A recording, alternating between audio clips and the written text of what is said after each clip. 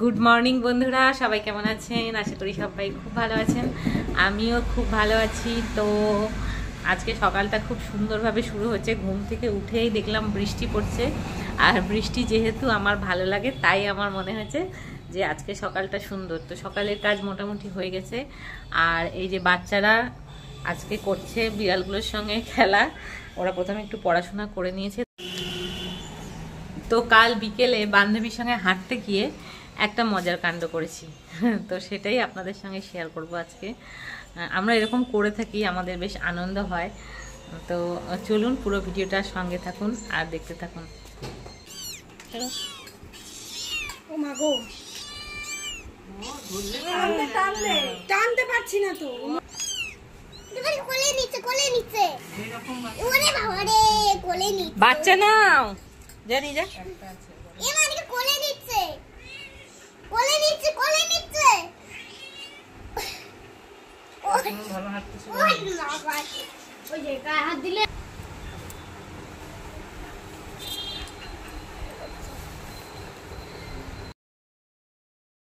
তো বন্ধুরা যেটা বলছিলাম গতকাল বিকেলে আমি আর আমার বন্ধু হাঁটতে গেছিলাম।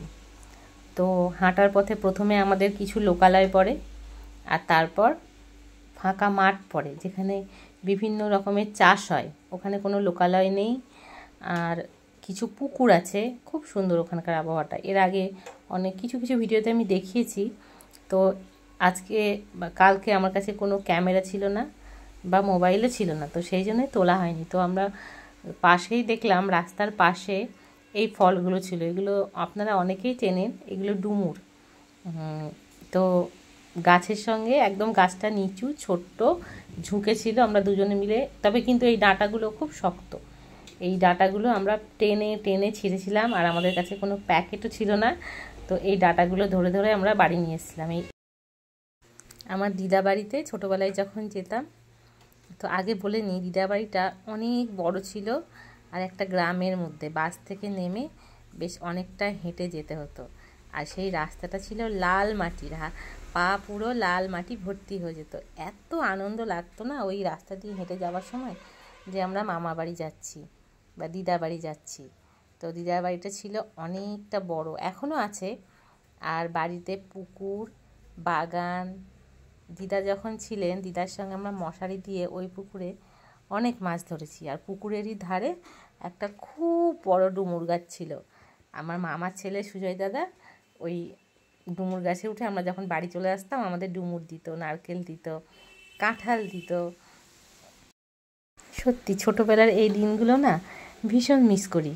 আর যেহেতু মামা বাড়িটা গ্রামের মধ্যে ছিল, তো মামা বাড়ির পিছন দিকেই ছিল ধানের জমি। আর শীতকালে যখন যেতাম, ওই মাঠ পুরো সর্ষে ফুলে হলুদ হয়ে থাকতো, আর কোথাও কোথাও আবার গাঁদা ফুলের চাষ হতো। আর যখন ধানের সময় হতো ওই ধানের বুকের যে সবুজের মধ্যে ঢেউ খেলিয়ে হাওয়া যেত, আর ওই ধান জমির মাঝখানে একটা শ্যালো মেশিন ছিল। তো আমরা ছোটরা সবাই মিলে ওই শ্যালোতে স্নান করতে যেতাম। মানে সেসব ইতিহাস কিন্তু এখনও যেন আমি চোখের সামনে দেখতে পাই। এত সুন্দর ছিল সেই দিনগুলো। কোথায় হারিয়ে গেল সেই সব সুন্দর দিন? অনেক দিন পরে একটা মনের মতো বান্ধবী পেয়েছি, যে আমার সঙ্গে একটু মাঠে মাঠে ঘুরে বেড়ায়। এই যখন হাঁটতে যায় যদি ইচ্ছে করে একটু ধানের জমির মধ্যে আমরা ঢুকে পড়ি, যদি ভাবি একটু বসবো, দুজনে মিলে একটু বসি, সময় কাটাই, কেউ ব্যস্ততা দেখায় না, যতই আমাদের ব্যস্ততা থাকুক না কেন। মানে ও আর আমি এইসব ব্যাপারে একদম এক। সেই জন্য যেন এখন আমার মনে হয় ওই ছোটোবেলার কিছু কিছু স্মৃতি আমরা আবার যাপন করছি।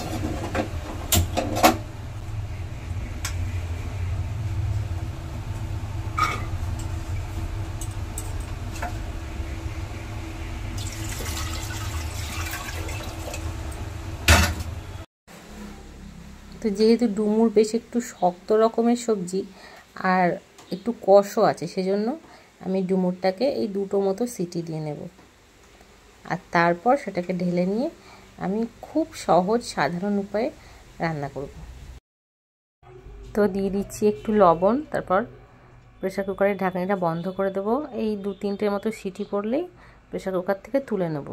পুরো জলটা আমি ফেলব না, অল্প একটুখানি রেখে দেবো। যেহেতু ডুমুরের মধ্যে প্রচুর আয়রন থাকে, তাই একটু আধটু জল থাকলে অসুবিধে নেই। তো কড়াইতে আমি দিয়ে দিয়েছি জিরে ফোড়ন, একটু হলুদ দিলাম আর শুকনো লঙ্কা। তো এবারে ডুমুরগুলো দিয়ে দেবো। ডুমুরের সঙ্গে আলুগুলো সিদ্ধ করে নিয়েছিলাম। ওই সব কিছু একসঙ্গে দিয়ে একটুখানি নাড়াচাড়া করে দেবো।